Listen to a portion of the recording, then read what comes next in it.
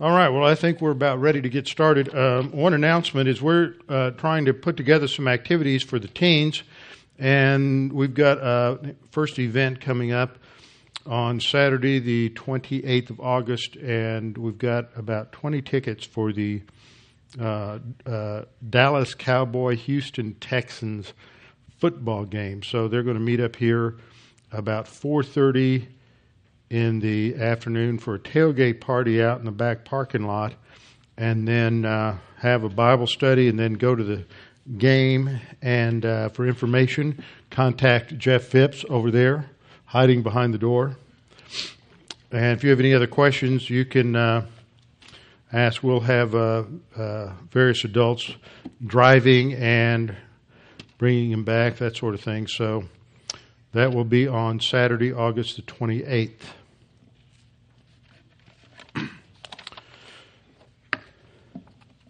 How shall a young man cleanse his way? By taking heed thereto according to thy word. Thy word have I hid in my heart, that I might not sin against thee. Thy word is a lamp unto my feet and a light unto my path. Jesus prayed to the Father, Sanctify them in truth.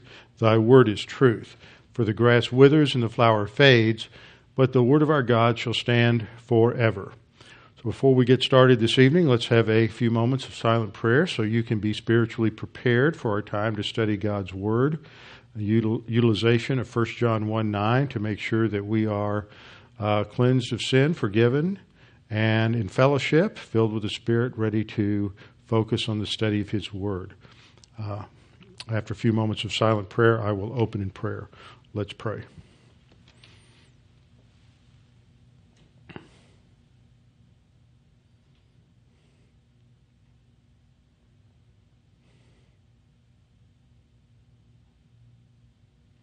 Father, we're thankful we can be together this evening to have fellowship around the teaching of your word, to be encouraged by your word, to focus on the uh, end time events that we may have an understanding of, of where we are headed, that we may live today with a future destiny in mind. Father, we pray that we would uh, be able to focus and concentrate this evening and that we would be responsive to the teaching of your word. We pray this in Christ's name. Amen. One thing that separates Christianity from all world religions is the fact that Christianity alone uh, emphasizes that salvation is based not on human behavior or human deeds, but on the work of Christ on the cross. Every other world religion, whether you're talking about Islam, whether you're talking about Hinduism, Buddhism, whether you're talking about any kind of New Age uh, sort of religion, whatever it is, there is a basic assumption that man can be good enough to enter into whatever the eternal state is that that uh, religious system is offering. What separates Christianity is the belief that man cannot do anything of himself that will gain the merit or favor of God. That the merit and the, the favor of God is given freely to man based on God's own love, and that, that for that reason God sent Jesus Christ as the eternal second person of the Trinity to come as the Son of God to become a human being so that he could die in our place to pay the penalty for sin, so that on the basis of what Christ did on the cross alone, we could be saved. It's not based on works. Again and again in Scripture, you have passages such as Ephesians 2 8 9, that uh, for by grace you have been saved through faith, and that not of yourselves, it is the gift of God, not of works, lest any man should boast. Titus 3 5, it's not by works of righteousness which we have done, but according to his mercy he saved us by the washing of regeneration and renewal of the Holy Spirit.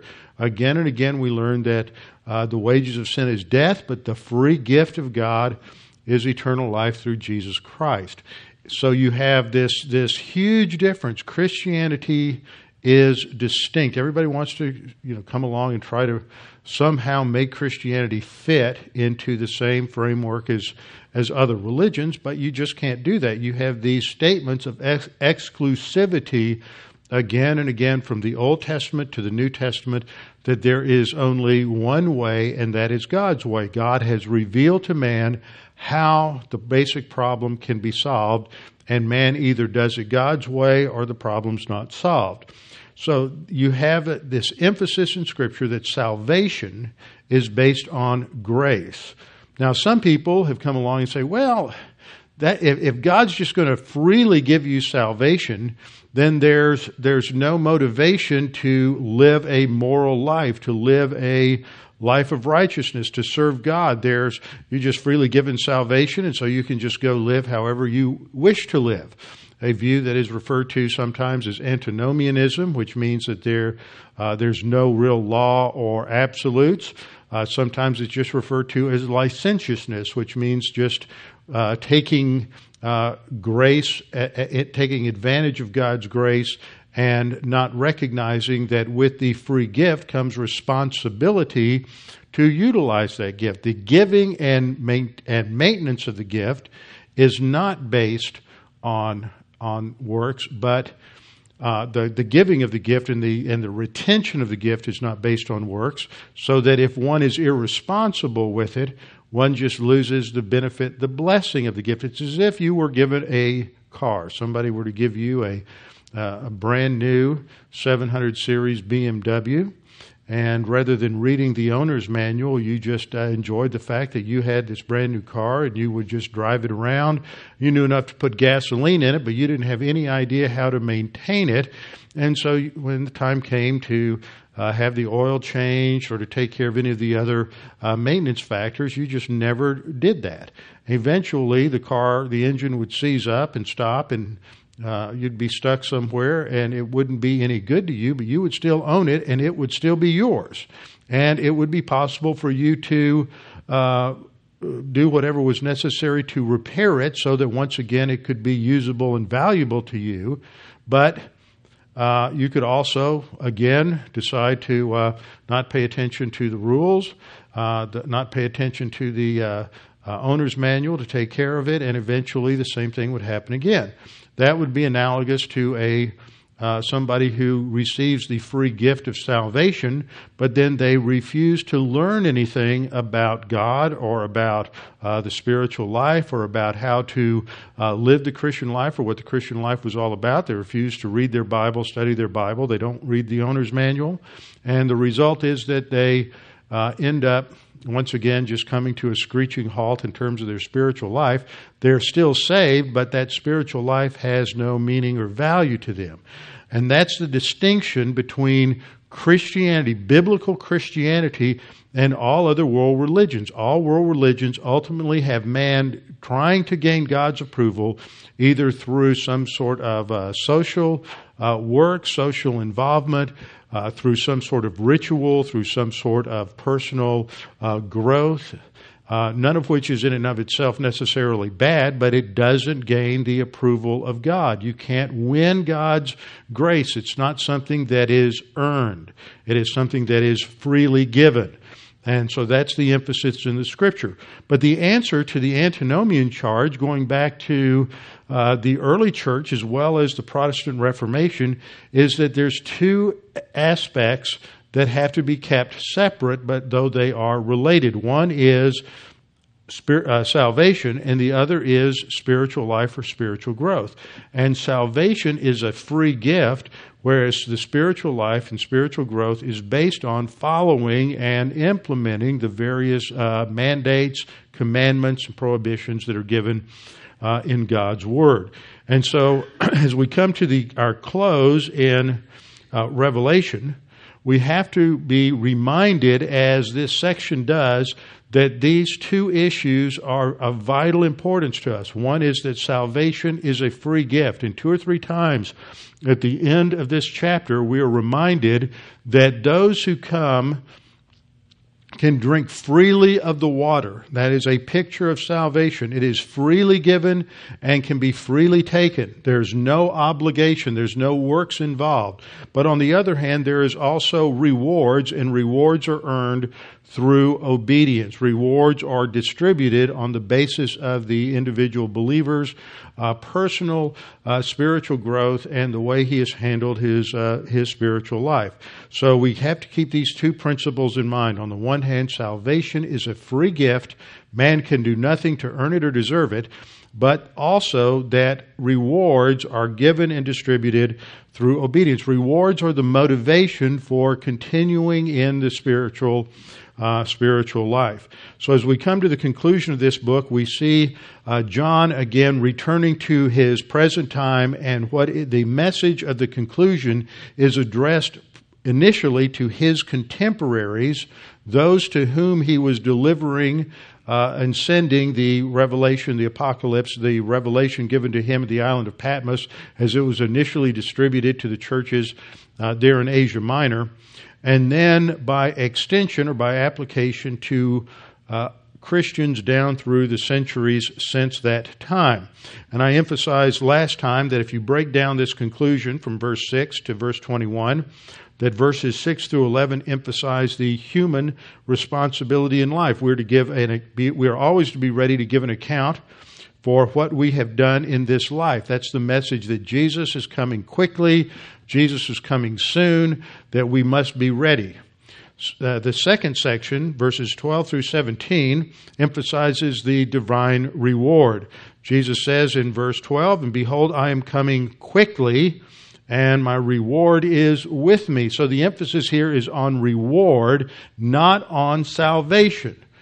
And, we, and if you don't keep that straight, then this chapter can be quite, quite confusing and you can uh, re- really become uh, put yourself under a load of guilt by not understanding the thrust of this of the message. So, as we have done the last two or three times, showing the overall uh, outline of Revelation, there's the initial chapter which gives us the setting when John is has been uh, exiled by the Emperor Domitian to the island of Patmos off the uh, what is now the Turkish coast in the uh, Aegean Sea. And there he has a vision. The Lord Jesus Christ, the resurrected, ascended uh, Lord Jesus Christ, appears to him and gives him instructions to write down the things that he has seen. The first thing he sees has to do with these seven report cards, critical evaluations of these seven different congregations, and that's covered in chapters 2 and 3. And that focuses at the end of each one of those evaluation reports on the fact that judgment and evaluation is someday coming to each believer and uh, in the church age. Then there is, as it were, a break, and indicated by the new terminology that begins in chapter 4, verse 1. John says, And then I saw the things which will take place after these things, and that describes future events related to the seven year tribulation, the messianic or millennial kingdom, and then the eternal state. Now, as I pointed out last time, and again just now, that we have to maintain this distinction between that which is earned, that is rewards, and that which is a free gift. In Revelation 22 7, we have the sixth of the seven blessing statements in the book of Revelation. And Jesus says, And behold, I am coming quickly. And we looked at that word quickly, tachus. Uh, the Greek word tachus, which means that when these things start, they will unfold rapidly. It doesn't mean that is it's coming around the corner. In fact, this word is used in the Septuagint a number of times in the same sense that it may be a while before the beginning of the, the, the event, but once it begins, then all of the things related to it unfold in a rapid fashion. So Jesus says, Behold, I am coming quickly. Blessed is he who hears the words of the prophecy. So there are going to be those who hear, and I pointed out last time that this is a, uh, a repetition at the end of the book of the statement at the beginning of the book Blessed is he who reads and hears and heeds.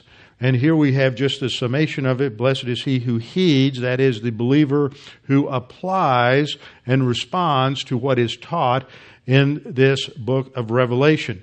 And if you respond in obedience, then there is a blessing And that word for blessing indicates that there is going to be something on the order of special privilege or special reward or uh, that somebody would be a special recipient of divine favor on the basis of doing something. And in this passage, it is on the basis of uh, responding to the message of the book of Revelation. So this refers to the present time audience. Listen and respond. Then we went ahead to Revelation 22:11, which is the end of that initial uh, initial section, which introduces the uh, aspect of individual responsibility. And this verse is where I closed last time, and it reads, Let the one who does wrong still do wrong, and the one who is filthy still be filthy. Now that's on the negative side. He's addressing believers. He's unbelievers aren't here. Unbelievers were dealt with at the judgment at the end of Revelation chapter 20. The message here is to believers. And the emphasis here is on individual responsibility.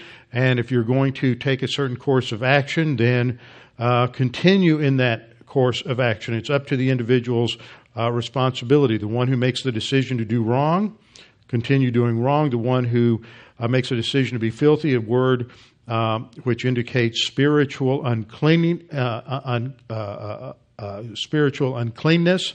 The one who is filthy still be filthy, and let the one who is righteous still practice righteousness, and the one who is holy still keep himself holy. And those words indicate the uh, ongoing uh, practice and obedience to God's word.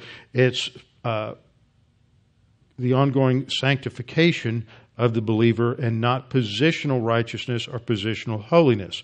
I pointed out the four key words there last time.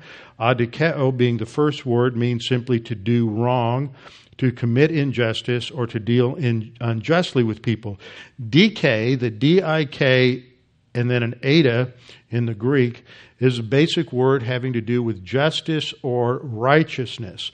When you put that alpha at the beginning, that is equivalent to the English prefix un, indicating a, a negation of the concept. So, uh, would be a verb relating to the performance of righteousness, and the alpha in front of it means to do unrighteousness. Uh, ruparos is a word that means dirty or filthy, applied in a spiritual sense to uncleanness. Uh, dikaios and hagios, on the other hand, are words that apply to the obedient believer. Now let's look at this particular verse. Verse 11 says, Let the one who does wrong still do wrong. This is that word, adikeo, and we find it in 1 John 1 9 and 1 John 5 17. 1 John 1 9 gives us the solution to any adikeo that is found in the believer's life. The solution isn't to go change your life. That's not where it starts. That may be where it ends up, but that's not how you cleanse. You don't cleanse by getting back in fellowship. The cleansing is how you get back in fellowship, and then you have to decide well, am I going to uh, continue to sin and just be back out of fellowship and constantly go in and out, in and out like a, like a ping pong ball, or am I going to learn to be obedient and not continue to just uh, practice a sin over and over and over and over again? So 1 John 1 9 gives us a solution. If we confess our sins, which confession simply means to admit or acknowledge that we have done something, it doesn't mean that we uh, are e- emotional about it. We might be, but that's not what gives it efficacious and uh, uh, uh effectiveness. I often use the example of if you get a speeding ticket. Now, many of us, if we're been driving for very long, have probably had uh, our share of tickets. And some people, and I know there's a few of you who practice uh, having a heavy foot on the accelerator, and so you might have accumulated a number of tickets. And if you, you've done that, then you show up before the judge, and the judge is not going to ask you uh, are you going to stop doing this? He's not going to ask you if you feel sorry about it. He just wants to know if you broke the law or not. That's what confession is. It's a legal term. Did you do it or not? Doesn't matter to the judge how you feel about it in terms of admission of guilt. That, com- that may affect things later on in another way, but not in terms of the strict meaning of the concept of confession. So 1 John 1 9 says, If we confess our sins, he is faithful and just to forgive us our sins. That is what we just confessed. But God's grace is bigger than that, and it goes on to cleanse us from all unrighteousness. Not just what we confessed, but the sins we forgot, the sins we didn't mention, the sins that we didn't know were sins. The slate is wiped completely clean. And at that point, then we are restored to fellowship and we are cleansed. That spiritual filthiness has been wiped clean now. And so the believer then, if he continues to walk in obedience and application of the word, then he stays in fellowship for a while in that status of being spiritually clean and being forgiven. 1 John 5:17 tells us that all unrighteousness, that is adike, the noun, all unrighteousness is sin. So it's just a synonym unrighteousness is just a synonym for hamartia, which is the Greek word for missing the mark or falling short of the glory of God. So the, uh, it's a clear definition of unrighteousness there. So back to Revelation 22, we're reminded that there's this difference, this distinction between the free gift that's mentioned in Revelation 22:17, the Spirit and the bride say, "Come." Let him who hears say, "Come," and let him who thirsts come. Do you want a spiritual life? Do you want to be saved? Do you want to have a relationship with God? Do you want to go to heaven when you die? Come. Whoever desires, let him take of the water of life freely. You don't do anything for it. It is freely offered. It's accepted like any gift Christmas present, birthday present, anything freely given, no strings attached. God doesn't put conditions on it. It is a free gift. If there were conditions, it wouldn't be free. But there's this distinction between that which is free and the reward. In, in the verse we're looking at in Revelation 22:12, Jesus said, "Become, behold, I'm coming quickly." and my reward is with me to render to every man according to what he has done. Now, salvation in the New Testament is never based on what we do. Ephesians 2 8 9, which I mentioned earlier, Titus 3 5, number of other places. So, this isn't talking about salvation. It's talking about something distinct, a reward. Behold, I am coming quickly, and my reward is with me. This is sort of like a. Um, so I heard somebody once compare this to a contract in football. You get an athlete who signs up, gets hired by a football team, and he's given an ironclad contract with incentive clauses. If he doesn't perform well, he's got an ironclad contract. He can't be kicked off the team. But he has incentive clauses, so if he performs well, he's going to get additional bonuses. But the contract is secure. That's like the believer's salvation. It is secure, it's freely given, but there are incentive clauses which are contained in these uh, overcomer promises in Revelation, these incentive clauses that focus on the rewards if we continue in terms of obedience and walking with the Lord. That's the meaning of the word misthos which is used uh, 29 times in 28 verses in the New Testament, and it always has uh, that particular idea. In fact, what we learn when we study rewards is that reward, the use of this word is that rewards are always given, are handed out, are distributed on the basis of what someone does, and rewards are taken away for something that is not done or something wrong that is actually done. For example, in Matthew 10 41, Jesus says that they would be, people would be rewarded for receiving a prophet in the name of a prophet. In Matthew 10:42 he says people would be rewarded for giving water to a little one. In other words, the reward is based on a particular action. Um, Matthew 6 2, there's a reward given uh, on the human side for doing charitable, or from God rather, for doing charitable deeds or praying, if it's done but not for the sake of being seen by others. If it's done for the sake of being seen by others, then Jesus said, well, then you have your own reward just by uh, the fact that you have been noticed and recognized by other people.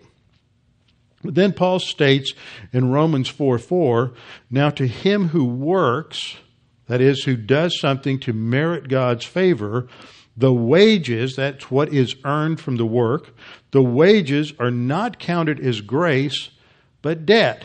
So he makes it clear that there's a contrast between what is earned and what is given. What is given is grace, what is earned is work. So these are two distinct uh, concepts that uh, must be emphasized. Now, in 2 Corinthians chapter 5, verse 10, we read, For we must all appear before the judgment seat of Christ that each one may receive the things done in the body according to what is according to what is done whether good or bad. Now when we look at that verse it emphasizes the fact that for Christians we look forward to a judgment that is referred to as the judgment seat of Christ. It's it's it takes place after the rapture of the church before the first scene that we saw in Revelation chapter 4 uh, where you have the 24 elders before the throne of, uh, of God, it's the seeking of someone worthy to open the scroll. It's the opening of the scroll that begins the judgment series in the, um, uh, this, the seal judgments that summarize the judgments in the book of Revelation. So 2 Corinthians 5:10 is not talking about the great white throne judgment that occurs in Revelation 20, but the evaluation of believers – at the end of the church age for future rewards, privileges, position, responsibilities in the coming uh, in the coming kingdom. Paul said, We must all appear before the judgment seat of Christ and let each one receive the things done in the body according to what was done, whether good, and there it talks, uses a Greek word indicating good of intrinsic value, or that which is bad. As believers, we still sin. So we're going to do things that are bad. We're going to be disobedient and we are going to be obedient in terms of walking by the Holy Spirit. That which is produced by uh, our relationship with the Holy Spirit, being filled with the Spirit, walking by the Spirit, abiding in Christ, that's rewardable. The other is not rewardable. And so 2 Corinthians 5:10 simply summarizes the reality of this judgment seat of Christ. It's spelled out in more detail in 1 Corinthians chapter 3 uh, verse uh, 9 and following, actually beginning in verse 10. Paul uses the illustration of being a builder, compares himself as a minister of the gospel as building something. It's built actually by the teaching of God's word, uh, which is on the foundation of the gospel of Jesus Christ, that Christ died for our sins so that we are freely given salvation. That's the foundation. So in 1 Corinthians 3:10 Paul says, "According to the grace of God which was given to me as a wise master builder, I have laid the foundation. That foundation is Jesus Christ. And another builds on it. Others come along, teach the word, and as the individual believer responds to the word, there is a life is built from the time that you're initially saved until the time that you die or go to be with the Lord you are constructing something with your life, and that is related to your response to doctrine. The foundation itself is a free gift, it's what you do with it that is the basis for this judgment. Paul goes on to say in verse 11, uh, For no other foundation can anyone lay than that which is laid, Jesus Christ. Now, if anyone builds on this foundation with gold, silver, precious stones, wood, hay, or straw, these are the building elements. We build our lives with all of these elements. We use things that are valuable, the gold, silver, and precious stones, and we use that which has no lasting value, the wood, hay, and straw. Now, none of us can take a look at our life and discern that which has eternal value and that which has only temporal value. We can't do that. We may notice some things now and then because we have uh, we, are aware that we are in fellowship and we're aware that God is working through us and we're applying the word, but we don't have the omniscience that God has to be able to evaluate all the variables and all of the uh, circumstances and situations that any of us runs into. We don't know. We can't certainly tell when other people are in fellowship or out of fellowship, when they've confessed their sins or haven't. We're doing good just to make sure we're in fellowship now and then. And so we construct our lives with these various elements.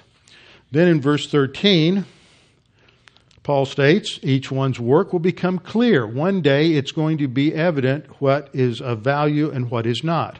For the day will declare it. And this terminology relates to the judgment because it will be revealed by fire. Now, this isn't the lake of fire or hell fire or anything like that. He's just using an illustration that if you've constructed something with uh, material that will have permanence and material that won't, that the way to separate the two is through a fire. And so, through the use of fire, you often see metal refined and the impurities are burnt off. You see, uh, for example, in gold or silver uh, metals, the, the, as it's heated up, the impurities will burn off and you're left with the pure, pure metal. So, the idea here is focusing on what survives, not on exposing the, the negatives, exposing the uh, flaws that are there. So each person's work, as it were, their life is exposed by this fire. The fire is just metaphorical here. There's a testing or evaluation of each person's work. The Greek word there indicates an evaluation. And if anyone's work which he's built on it endures, he receives a reward. So after there's this uh, removal of the wood, hay, and straw, Whatever is left has eternal value, and that's the basis for the reward. Whatever was done in the power of the flesh, apart from dependence upon God, dependence upon the Holy Spirit, whatever is left is uh, is destroyed. I mean, whatever's whatever's left from that uh, on the basis of walking by the Spirit, that's the basis for the reward. What's burned off is the wood, hay, and straw. Now, some people are going to spend a minimal amount of time uh, concerned about their spiritual life. They're more concerned about many other things, and they never learn anything about the spiritual life. They never learn anything about their walk with God, and they're saved, but that's it. There's no spiritual growth. As it were, they're born uh, a baby, and they never grow beyond whatever their uh, initial age is. They just stay that same infant age throughout their life, that is spiritually, until they go to be with the Lord. So there's no Nothing positive that's constructed, no gold, silver, precious stones. And so the last verse applies to them. If anyone's work is burned, he will suffer loss. In other words, he won't get the rewards he could have received, the potential rewards. But he himself will be saved, yet it's through fire. This refers to the one who has absolutely nothing when all of his life is evaluated. There's no gold, silver, precious stones. It's all, as it were, destroyed, burned up, and yet he's still saved because the salvation's the free gift. The, that which is done in obedience is the basis for rewards. Now, understanding that is a key to understanding what Jesus says in the next four or five uh, verses. In the next verse, after Revelation 22, I mean, Revelation 22 12, Jesus states his credentials. He says, I am the Alpha and the Omega. And in the New King James, if you're looking at a King James or New King James Bible, the word order is different. That's why I have these two different versions up here. Uh, just the last two phrases get flip flopped. In the um, New King James and King James, you have the phrase the beginning and the end in the middle. In the majority of manuscripts, as well as the critical text, it's at the end. Uh, there were just a few manuscripts who had it that way, and that was what Erasmus used when he put together the first critical text in the time period of the uh, Protestant Reformation, the early 1500s. Later on, better manuscripts, more manuscripts were discovered, and the majority of them had a slightly different reading. The phrases were just flip flopped, but the nothing is lost. It still says the same thing and has the same significance.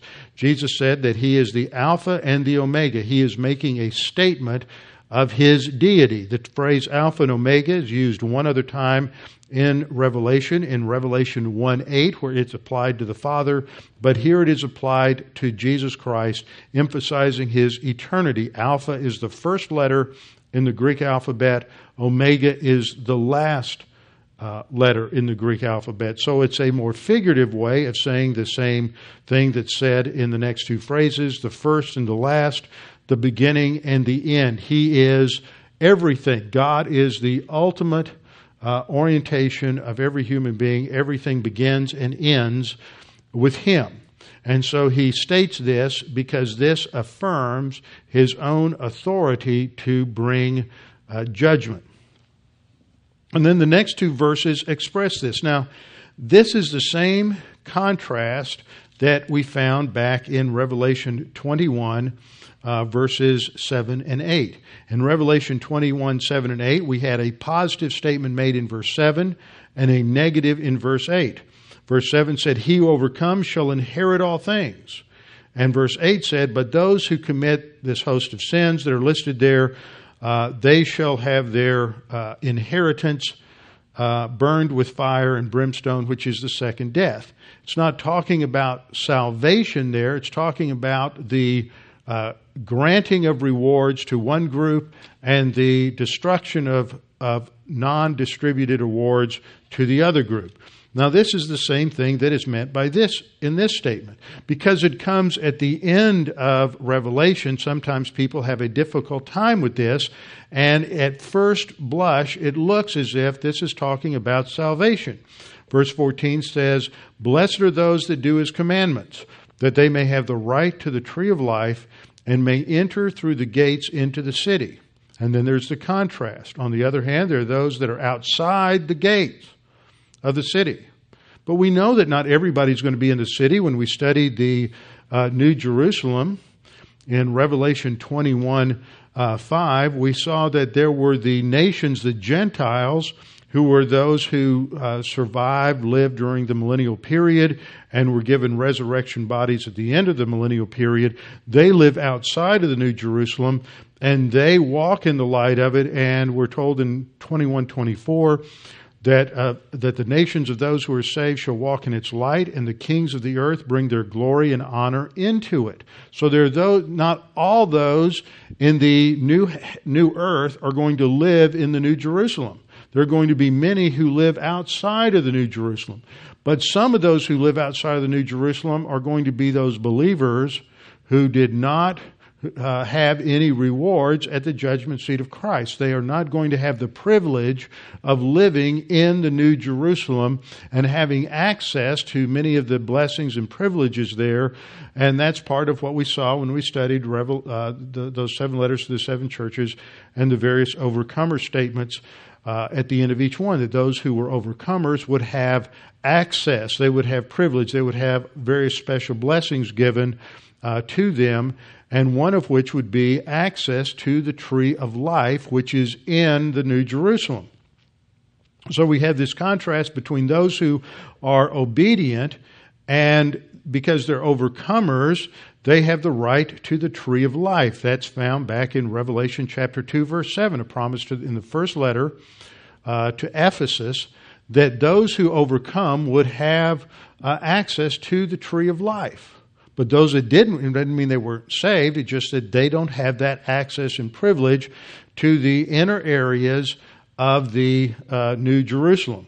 Now, outside the New Jerusalem are dogs. Now, that, that was a pejorative term in the ancient world. They did not have dogs as pets like we do. Uh, same thing's true if you go over to Afghanistan or Iraq or many of the Middle East areas. Dogs are not kept as household pets. They are uh, they just run wild. They're feral and they're used. They're scavengers and they're the uh, take care of a lot of the garbage and uh, uh, uh stuff in the streets. So uh, this is a very a negative term. Outside of the dogs, these are those those who are, as it were, they were spiritually worthless in their lives. Outside of dogs and sorcerers. That's a term from the Greek pharmakeia, indicating those who were u- utilization of various hallucinogenic drugs in order to have a relationship with God. These were the um, the mystics in the ancient world. The sorcerers, the sexually immoral, murderers, idolaters, and whoever loves and practices a lie. In other words, self delusion, self deception. Now, when we look at that, uh, look at what's taught here, we're going to see some interesting things to fit with a, a, pattern that we've already studied many times, so this is a good summary for us. In Revelation 22:14 as I just pointed out, those who are obedient, the overcomers have access to the tree of life. In Revelation 2:7, as I pointed out a minute ago, uh, the church at Ephesus was promised to the one who overcomes, I will give to eat from the tree of life which is in the midst of the paradise of God. So the overcomers are going to have access to this uh, privileged inner area in the New Jerusalem, which is near the throne of God, and this is where the tree of life was located. It's described in Revelation 22, 2, and 12 in the description of the New Jerusalem. In 22 2, we read, In the middle of the street and on either side of the river, that river that flowed from the throne of God, was the tree of life, which bore 12 fruits, each tree yielding its fruit every month. The leaves of the trees were for the health, not healing, indicating that they were uh, sick, but the word should be translated health of the nations. Who are the nations? The Gentiles living outside of the city who come in, and so this has value for them. Now, the, those who are the uh, failures in the spiritual life church age don't have access. They don't come into the city, which uh, Revelation 21:12 tells us that the city had a great and high wall with 12 gates, 12 angels at the gates. Names written on them. What are these angels? They are standing guard because they're those who are not to have access inside the city. Not that they're going to, because nobody's going to have a sin nature. There's no sense of a rebellion in the new, uh, new Jerusalem or new heavens and new earth but this is what is the circumstance at that time. Now, when we look at that, uh, at verse 15, and we see the list of uh, five or six uh, different sins there sorcery, uh, sexual immorality, murderers, idolaters, and whoever loves and practices a lie, self deception, um, uh, just another form of arrogance.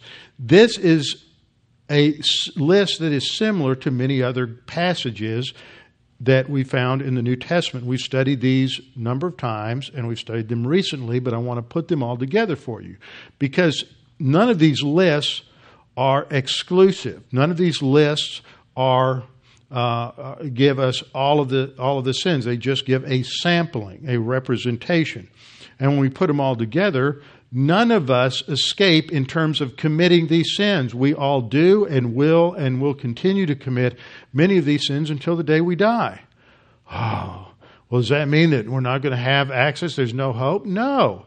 That's why we have to have the grace privilege of 1 John 1 9. It's not a license to sin, but it is a grace recovery method so that we recover from any sin that we, we commit.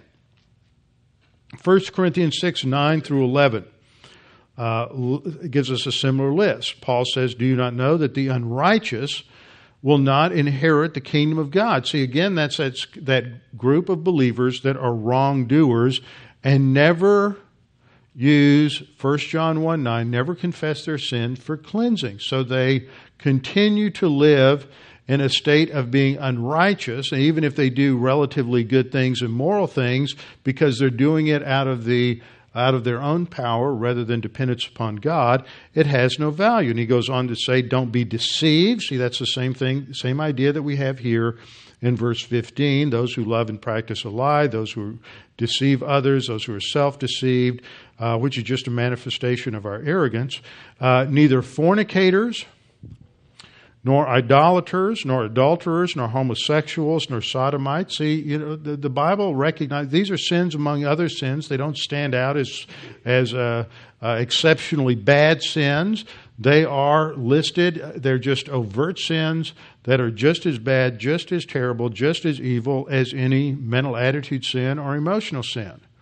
They're not exceptional sins. Uh, fornicators, idolaters, adulterers, homosexuals, sodomites, thieves, covetous. Uh, there's not anybody that escapes that. In fact, Paul states in uh, Colossians 3 that all greed is idolatry. So, idolatry doesn't mean that you bow down to a uh, little god made out of stone or metal or wood, but it is looking for fulfillment in life from something other than God. So neither thieves, nor covetous, nor drunkards, nor revilers, nor extortioners will inherit the kingdom of God. Ephesians 5 5. For this you know that no fornicator, that's an overt sin, unclean person, that's just spiritually unclean. That's not observable by anybody else. That, that can be because of mental attitude sins. Some of the, um, you know, it's sad to say this, but among the clergy, there are a number of pastors, and I'm sure you probably can think of one or two, that are, are, on such a power trip. That happens in any profession. The pastor is no different from anybody else.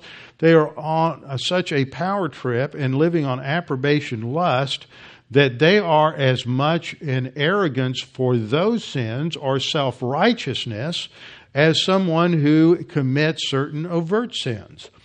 Uh, Paul says, For this you know that no fornicator, unclean person, nor covetous man who is an idolater, see again, you have this relationship between greed and idolatry, uh, has an inheritance in the kingdom of Christ and God.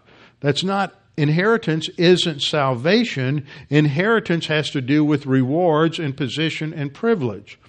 Galatians 5:19 Now the works of the flesh are evident which are adultery, fornication, uncleanness, lewdness, uh, idolatry, sorcery, and then we get into mental attitude sins and emotional sins, hatred, contentions, jealousies, outbursts of wrath, selfish ambition, dissensions, heresy, envy, and then overt sins, murder, drunkenness, revelries, and the like of which I told you beforehand, just as I also told you in time past, that those who practice such things will not inherit the kingdom of God.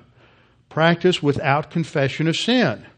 Revelation 21 um, 6 again emphasizes the fact that, that salvation is a free gift, but rewards are based on Rewards are based on works. Revelation 21 7. He who overcomes shall inherit all things, and I will be his God, and he shall be my son.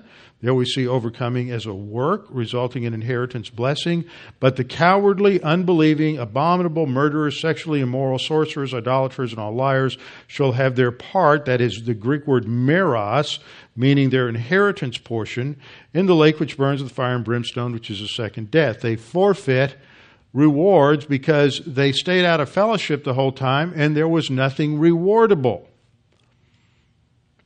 And so those lists are the same kind of lists we have in Revelation 22:15, but outside are dogs, sorcerers, sexually immoral, murderers, idolaters, and whoever loves and practices a lie. Just a reminder that there are those who at the judgment seat of Christ will have everything burned up, but they will suffer loss. They'll be saved, but as through fire.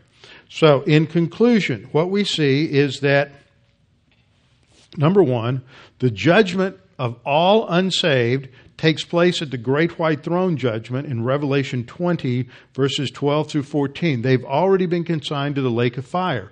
The focus here, therefore, isn't about unbelievers, it's on believers. Second, this section uh, from starting in verse 6 to the end isn't addressing unbelievers, but it's written to challenge and to motivate believers in terms of obedience. Third, uh, we see that the issue here is rewards, something that is earned, rather than salvation, which is a free gift. And so we have passages such as Revelation 2 7. He who has an ear, let him hear what the Spirit says to the churches. To him who overcomes, I will give to eat from the tree of life, which is in the midst of the paradise of God. It is a reward for behavior. And then, fourth, as we've seen, this passage is parallel to many other passages in the New Testament which promise a loss of rewards and some form of punishment to those Christians who fail to live the Christian life, where there's no production whatsoever. It's not promising judgment to those who commit those sins. Those sins were paid for at the cross. But what it's promising is that because there's no spiritual growth, there's no reward. And so they are without reward and without those uh, privileges. Now, when we look at all of this and put it into context in the scriptures, we realize, first of all, that all sin was paid for by Christ on the cross. Colossians 2 13 and 14 tells us that the handwriting or the certificate of debt against us, which is sin, was nailed to the cross. It is completely eradicated at the cross. Paul writes, And you being dead in your trespasses and the uncircumcision of your flesh, he has made alive together with him because he has forgiven you all trespasses when he wiped out the handwriting of requirements that was against us, which was contrary to us, and he took it out of the way by nailing it to the cross. So sin isn't the issue. Spiritual growth is the issue. No spiritual growth, no rewards. It's not a punishment for sin. That was taken care of at the cross. But those who are not walking by the Spirit are walking by the sin nature, and all they can produce are these sins uh, uh, that are listed in these various passages. So they're not being punished for those sins. That would be a, you know, that, that would be a double punishment. The punishment's already taken care of, but because they, they spent their life living in carnality, living on the basis of the sin nature, there's no production.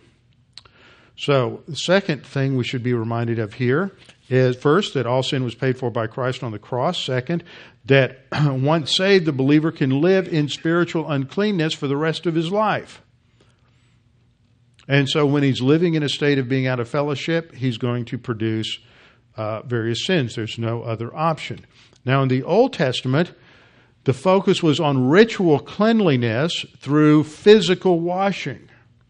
But the, that was simply to be a picture of an internal reality of being spiritually cleansed. That's why David confesses his sin to God. He is ritually cleansed through the rituals at the temple, but he is spiritually cleansed only when he confesses his sin to God in Psalm, uh, Psalm 51. So there's always been this emphasis on cleansing as a, a cleansing sin after salvation. Third point is the overcomer then is the believer who's growing spiritually, confessing sin. Maybe I should put that in the other order. He's confessing his sin, he's growing spiritually, he's claiming promises and trusting God, and he's learning and applying the word Whenever he fails, he confesses sin and can move forward. Now, we all go through stages and times when we're confessing and we're out of fellowship, we're in fellowship, we're out of fellowship, but over the course of our lives, there's production, and that's the basis for rewards. Uh, fourth point overcomers receive various rewards and privileges in the eternal state, which are denied those who have no production. 1 Corinthians 3 15. Now, that brings us to the closing of Revelation. In verse 16, we have Jesus' statement of his identity and of his authority. He says, I, Jesus, have sent my angel to testify to you, meaning John. He sent his angel back in the first chapter, who would be the guide and the one who would take John through the various visions and scenes in the book of Revelation. I, Jesus, sent my angel to testify to you these things in the churches. This is the first mention of the word church since the end of Revelation 3. Why? Church is raptured at the end of Revelation 3. The church isn't present during the tribulation. First mention of the church. I am the root and the offspring of David, the bright and morning star. Now, there's an allusion to the church as the bride of Christ. There returns with Christ in Revelation 19, but this is the first use of the word church since Revelation 3. Then Jesus identifies himself in Old Testament terminology. I am the root and the offspring of David, the bright and morning star. Isaiah 11:1 introduces this terminology for the Messiah. There shall come forth a rod from the stem of Jesse, looking at uh, the lineage of Jesse, the father of David, as a tree. And it's been cut off, but then out of this stump comes a branch. There comes forth a rod from the stem of Jesse, and a branch shall grow out of his roots. And, it, and then in uh, Isaiah 11:10 goes on to say, "And in that day there shall be a root of Jesse, who shall stand as a banner to the people, that is to Israel, for the Gentiles shall seek him." That is foreshadows uh, both, I think, the church age as well as uh, the millennial kingdom. The Gentiles shall seek him, and his resting place shall be glorious. That's the glory of the messianic kingdom. Isaiah 9 7 talks about this of the increase of his government and peace. There shall be no end upon the throne of David and over his kingdom, to order it and establish it with judgment and justice from that time forward, even forever. So, this is the focal point of uh, these two these phrases, the root uh, uh of Jesse, that um, when Jesus says, I am the root and the offspring of David, he is identifying himself with the Old Testament uh, prophecy of the Messiah. And then the phrase, the bright and morning star, is uh, related to Jesus as the one who is the true light who has come into the world. This is found in John chapter 1, verse 9. He's the true light which gives light to every man coming into the world. And he is, in terms of the Old Testament passage, Malachi 4 2, the Sun of Righteousness who will arise with healing in his wings. And then, starting in verse 18, he comes to give a, the conclusion to the book. He says, For I testify to everyone who hears the words of the prophecy of this book, if anyone adds to these things, God will add to him the plagues that are written in the book. As we come to the end, wait a minute, I get ahead of 17 there. Yeah, I got ahead of 17. As we come to the end, there's a reiteration again of the freeness of salvation and of the importance of obedience for rewards. Verse 17 emphasizes the freeness of salvation. The Spirit and the bride say, Come, and let him who hears say, Come. It's the free offer of salvation to anyone. And let him who thirsts come. Anyone who desires salvation come. Whoever desires, let him take of the water of life freely. In Christianity, salvation is free. You don't do anything for it, you just accept it as a free gift. However, if you reject that gift, there are consequences. That's what follows in verses 18 and 19. For I testify to everyone who hears the words of the prophecy of this book, which focus on judgment. If anyone adds to these things, God will add to him the plagues that are written in this book. There is clear truth and revelation in, in this book, and if we add to it, and make things up, add to this, then there is judgment. The plagues that are written in this book relates to eternal uh, condemnation. Verse 19, if anyone takes away from the words of the book of this prophecy, God shall take away his part from the book of life, from the holy city, and from the things which are written in this book.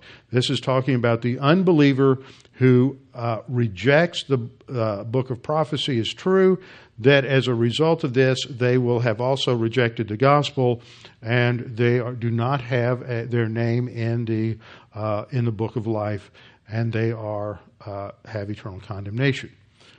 Verse twenty then go, set, concludes: He who testifies to these things is Jesus Christ. He says, Surely I am coming quickly. This is now the third time we've heard this in this chapter, a reminder that he is coming uh, quickly and that this is sure and certain.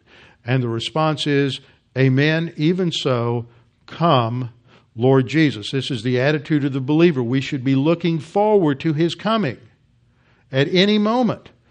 We're not looking for the Antichrist, the tribulation, Armageddon. We're looking for the return of the Lord Jesus Christ. And then the final statement in the book reiterates a theme that goes from Genesis to Revelation the grace of God. That we are saved only by grace, not by works. The grace of our Lord Jesus Christ be with you all. This is a common closing comment you find in the early church. The grace of our Lord Jesus Christ be with you all. Amen.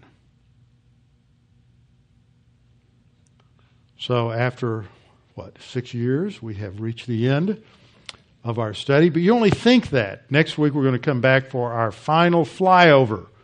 You know, when you finish, you have to go back and have a good summary and conclusion.